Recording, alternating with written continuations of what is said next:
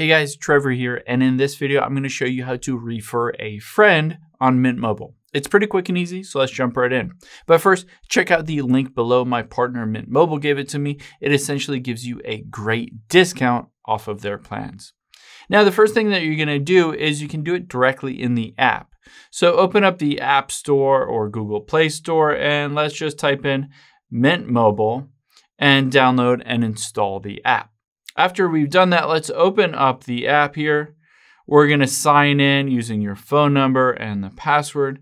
And after you've done that, let's tap on account at the very bottom right. Now you can see here midway down is refer a friend. I can tap on it. And the cool thing is I'm going to just scroll down and tap on how it works. Essentially, you can get a link that you can email or text or whatever you want to do with it. If the other friend picks the 5 gigabyte plan, you'll get $45 in credit, all the way up to the unlimited plan will give you $90 in credit. So it's a great option basically to tell all your friends about. You can see zero to four referrals. You can refer up to four friends a year. All I have to do is hit refer a friend at the very bottom here. And you can see I can text it, I can email it, I can copy the link, any of that stuff.